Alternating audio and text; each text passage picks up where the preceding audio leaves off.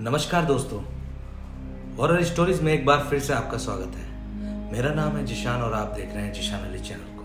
दोस्तों, आज की कहानी ओयो रूम को लेकर है, जो बेहद डरावनी कहानी है। तो कहानी को पूरा सुनिएगा।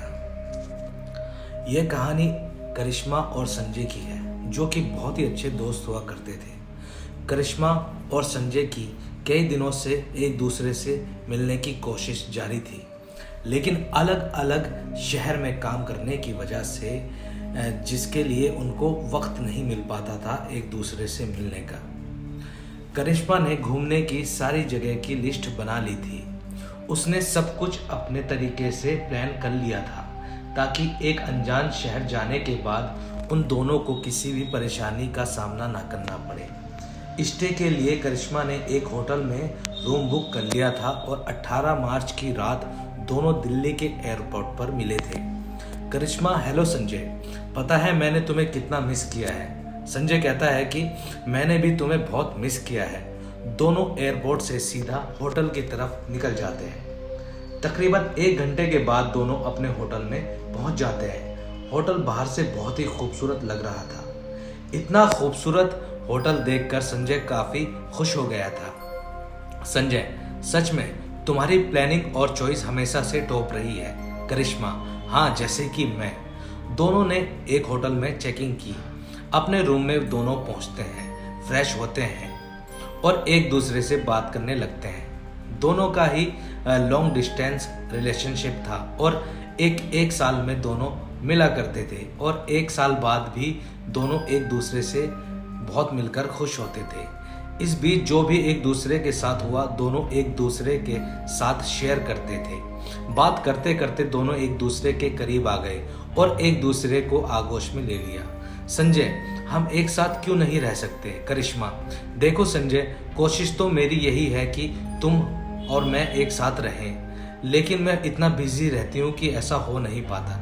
करिश्मा और संजय एक दूसरे से बात कर ही रहे थे कि तभी रूम में बाथरूम से कोई आवाज़ आती है। पहले तो उन्हें लगा कि ग्रीजर में कोई प्रॉब्लम होगी, लेकिन ध्यान से सुनने पर करिश्मा ने यह महसूस किया कि ये किसी की दीवार पर नखून मारने की आवाज़ है।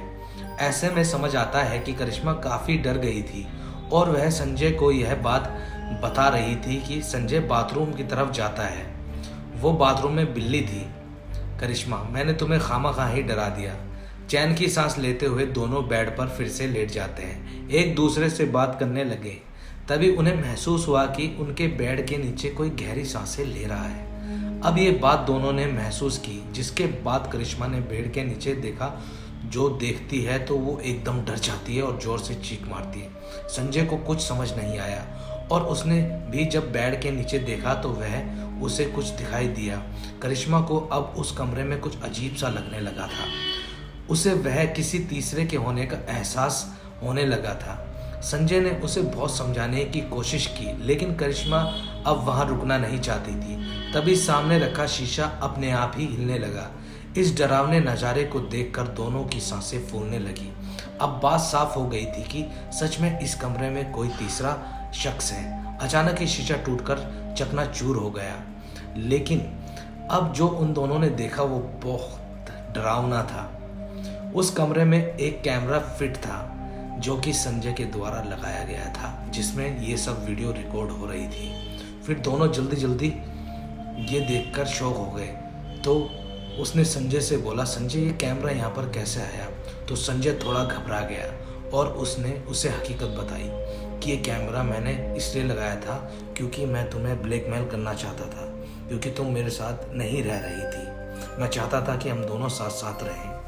और इस तरीके से उस लड़की की जान बच गई। एक तरीके से अगर वो संजय उसकी रिकॉर्डिंग कर लेता तो उसको हमेशा ब्लैकमेल करता रहता। भूतिया आकृति एकदम से उस लड़की के सामने आई, जिसने उससे बचा लिया। उस कमरे में कोई तो तीसरा था, जो कि संजय से उस लड़की को बचाना चाहता था, जिसका नाम करिश्मा था।